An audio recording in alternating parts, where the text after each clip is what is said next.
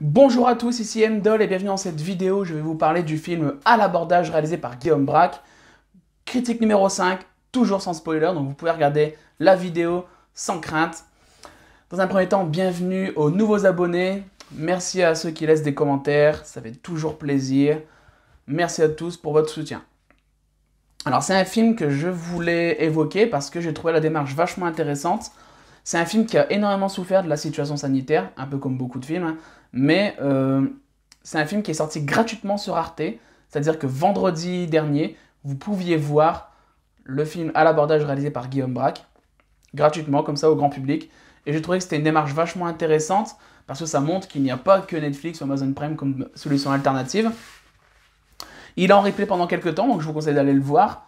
Et malgré tout, il bénéficiera tout de même d'une sortie en salle au mois de juillet, mais je suis content de l'avoir vu parce que je suis persuadé qu'il n'aura pas une distribution magnifique. Et en plus de ça, je crois qu'il sort le même jour que Camelot et que Old, le dernier film de Shyamalan, donc grosse concurrence. En tout cas, je sais que par exemple dans mon cinéma, c'est quasi sûr, quasi acté que ce film-là, il ne sortira pas. En plus de ça, c'est louable parce que Arte, c'est vraiment une chaîne qui a à cœur de partager les valeurs du cinéma. Et c'est un film qui Arte, c'est une chaîne pardon, qui a vraiment construit ma cinéphilie. Je vous conseille d'aller voir euh, les films d'Arte le dimanche soir, lundi soir généralement, le mercredi également. Il y a toujours des grands films. J'ai découvert pas mal de cinéastes avec Arte, hein, et donc euh, oubliez, si vous voulez passer un moment, oubliez euh, le Radin sur TF1 ou, ou Disco sur France 2. Intéressez-vous à ce que diffuse Arte, c'est toujours très intéressant. Bref, c'est ma première incursion dans le cinéma de Guillaume Braque. Je ne le connaissais que de nom, je ne m'étais pas encore intéressé à ce qu'il fait, et j'étais convaincu par la vidéo d'Anna Génocide, qui a fait une très bonne analyse de ce film. Donc, euh, en plus de ça, c'est le type de film que j'aime aller voir. Il y en a tellement peu dans les, multiplex comme ça que euh, des fois je prends le risque, euh, juste au synopsis ou à l'affiche, d'aller voir un film d'auteur ou un film comme ça un peu méconnu. J'aurais pu prendre le risque avec à l'abordage, et souvent, j'ai des bonnes petites pépites. À l'abordage, spoiler, à l'abordage, c'est une pépite. Qu'est-ce que ça raconte à l'abordage? Ben, C'est l'histoire d'un jeune mec qui part avec son, avec son meilleur ami en covoiturage pour rejoindre une fille qu'il a rencontrée pendant une soirée dans la Drôme, comme ça en vacances, sans qu'elle le sache, et tout ne se passera pas comme prévu. Alors j'ai bien aimé ce film, c'est un film qui vous donnera envie de partir en vacances, déjà dans un premier temps.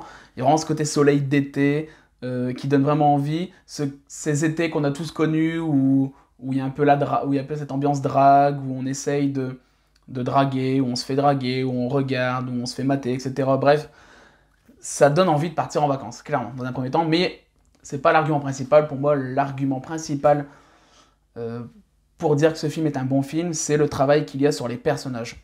Il y a une alchimie incroyable entre les différents protagonistes.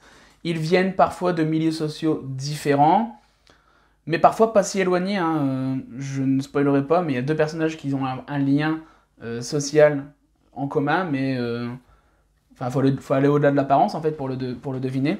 Et tout ça crée vraiment un mélange parfait entre ces personnages. C'est un film qui parle de la difficulté de la relation homme-femme, et ça se fait à travers plusieurs duos de personnages. Et j'adore notamment celui entre Salif Sissé et Anna Blagojevic. Anna Blagojevic, je vous le dis, c'est une des plus grandes actrices françaises de la prochaine décennie. C'est posé, on en reparle. Je sais pas si j'ai raison, hein, mais euh, en tout cas, sa prestation dans ce film m'a vraiment scotché. Elle est d'une subtilité, son jeu d'acteur est d'une subtilité. Je pense à la scène où elle chante avec, euh, avec euh, Salif Sissé au karaoké du camping, où il chante Aline de Christophe. Alors ça paraît ringard complètement sur le papier, hein, mais cette scène est d'une beauté, une... Euh, elle dégage quelque chose d'émotionnel, d'émotionnellement très fort, juste dans le regard.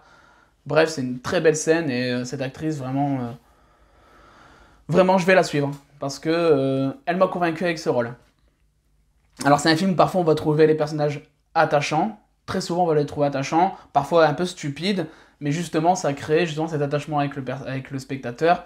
Moi, en tout cas, je me suis senti euh, en osmose avec eux, euh, je me suis senti émotionnellement investi dans leurs histoires.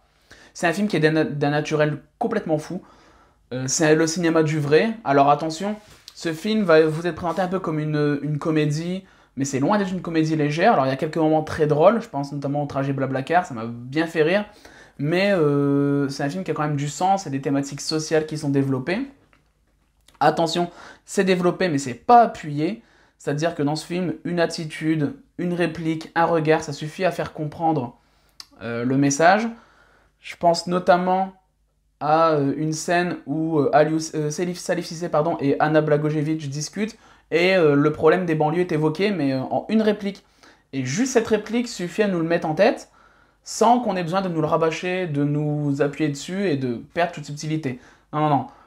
Guillaume Braque, dans ce film, c'est la subtilité incarnée. Je ne connais pas le reste de sa filmographie, mais je vais vraiment m'y pencher parce que c'est tout ce que j'aime. On pourrait reprocher peut-être un peu son manque de rythme. Bon, c'est sûr qu'on n'est pas sur Godzilla versus Kong, hein, mais euh, justement, je trouve que le fait que le rythme soit posé ben, fait que le film est vachement beau à contempler. Moi, personnellement, j'avais pas envie que le film s'arrête. Hein. J'étais bien avec les personnages, j'étais en osmose avec eux, j'étais en vacances avec eux. Et euh, non, au contraire, je trouve que la supposée lenteur du film euh, le sert totalement. Bref, donc vous l'aurez compris, à l'abordage réalisé par Guillaume Braque, je vous le conseille. C'est le genre de film à soutenir, déjà de par euh, la situation sanitaire, puis même c'est le genre de film qui n'est pas très bien distribué, alors que c'est vraiment du bon cinéma. C'est un film qui arrive à point, vous allez avoir envie de partir en vacances. Il, fait du bien, vraiment, je vous jure. Hein. c'est un film qui, qui, je pense, va avoir un petit aura euh, de par l'époque où il sort, c'est sûr. Vous allez avoir envie de sauter dans un lac, vous allez avoir envie de camper, vous allez avoir envie de boire une bière au bord du lac, vous allez avoir envie de vous mettre en maillot de bain et de sauter dans l'eau. C'est tout ce qu'on a en ce moment, je crois. Non? Donc voilà, j'espère que cette critique vous aura plu. N'hésitez pas à liker, partager, à vous abonner à la chaîne. En tout cas, nous on se retrouve bientôt pour une prochaine vidéo. Je ne sais pas encore ce que ce sera la prochaine critique. Euh, faut voir un peu ce qu'il y a en sol. Je ne sais pas trop ce qui va m'intéresser. Bref, en tout cas, on se retrouve très vite pour une prochaine vidéo. Salut à tous